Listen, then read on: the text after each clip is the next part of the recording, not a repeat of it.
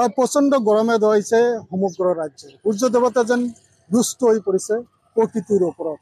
সেই দৃশ্য দেখা গৈছে সমগ্ৰ ৰাজ্যখনতে।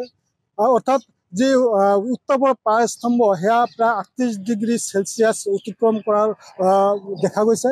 মই বৰ্তমান উপস্থিত আছোঁ গোসাইগাঁৱৰ জয়মাত সাতাইছ নম্বৰ ৰাষ্ট্ৰীয় ঘাইপথত সাতাইছ নম্বৰ ৰাষ্ট্ৰীয় ঘাইপথৰ দৃশ্য আমি দেখুৱাবলৈ আমি যত্ন কৰিছোঁ।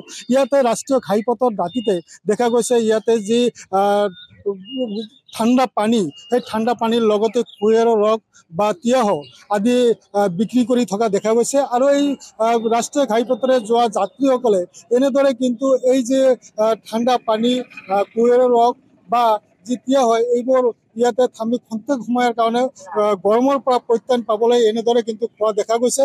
সেই দৃশ্য আমি আপোনালোকক দেখুৱাবলৈ আমি যত্ন কৰিছোঁ।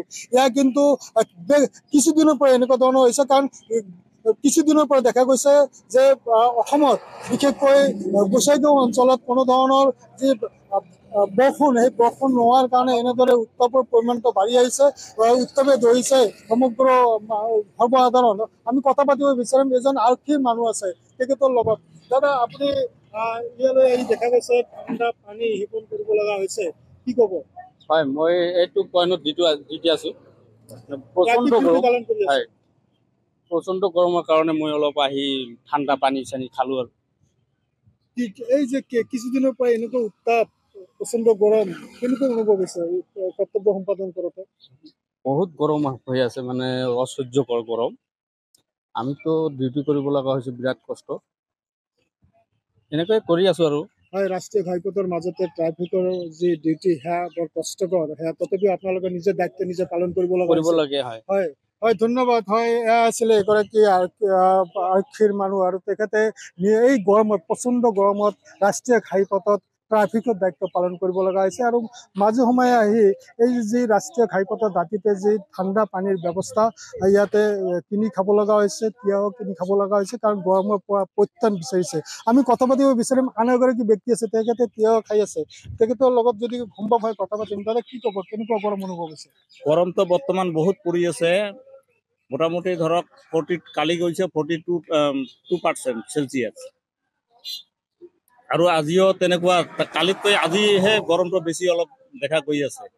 সেইকাৰণে কাম বন দুখীয়া মানুহবোৰে কাম বন বন্ধ কৰি ঘৰতে বহি উম, গাঁঠিৰ ধন ভাঙি খাবলৈ আৰম্ভ কৰিছে।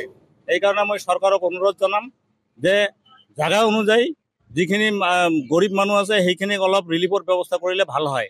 কাৰণ সিহঁতে কাম বন বাদ দি ঘৰতে বহি এতিয়া গাঁঠি ধন বান্ধি ভাঙি খাই আছে। এইখিনিয়ে আৰু কি। হয় হয় ধন্যবাদ। হয় আচলতে প্ৰচণ্ড গৰম। অকল আহ, গোসাইগাঁৱতে নহয় সমগ্ৰ ৰাজ্যখনতে একে অৱস্থা দেখা গৈছে। আমি কথা পাতিব বিচাৰোঁ আন এজন পথচাৰী এই ৰাষ্ট্ৰীয় ঘাইপথৰ মাজেৰে গৈ আছিলে। তেন্তে কে- ক'ব আচলতে ক'ৰ পৰা আহি আছে? এতিয়া মই পাণবাৰীৰ পৰা আহিছো গোসাইগাঁৱত গৈছিলো। তাতে গোসাইগাঁও হাবৰুবিলৰ পৰা এতিয়া বৰ্তমান মই আহি আছো। এই গৰমত মই তিনি চাৰি জেগাত ৰখি ৰখি মই আহি আছো। আৰু ঘৰততো এনেই খেতি বাতি কৰাৰ কাৰণে কোনো কাম কৰিব পৰা নাই। কাম কৰিব নোৱাৰাৰ কাৰণে আমি আজি বিশেষ অসুবিধা হৈ আছো ধান চান চব মৰি গৈ আছে। এতিয়া মূলা আৰু যিবিলাক শাক পাচলি আমি খেতি কৰিছো এইটো নগজা হৈছে উঠাই নাই। আৰু যিবিলাক উঠিছে সেইবিলাকো এতিয়া ৰ'দত মৰি আছে গৰমত।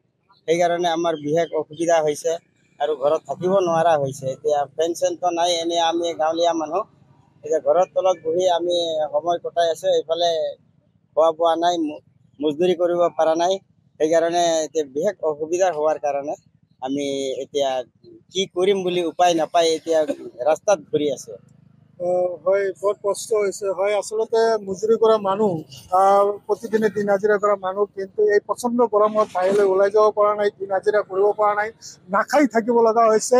এনেকুৱা ধৰণৰ মন্তব্য কিন্তু কৰিছে। তেখেতে আচলতে তেখেতে এখন বাইচাইকেল লৈ তেখেতে পাণবাৰীৰ পৰা গোসাইগাঁৱলৈকে প্ৰায় দহ কিলো প্ৰায় আপোনাৰ পোন্ধৰ কিলোমিটাৰ বাট তেখেতে আহ, আহিছে।